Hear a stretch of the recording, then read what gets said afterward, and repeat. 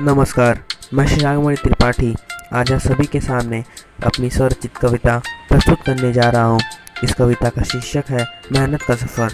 ये कविता कुछ इस प्रकार है।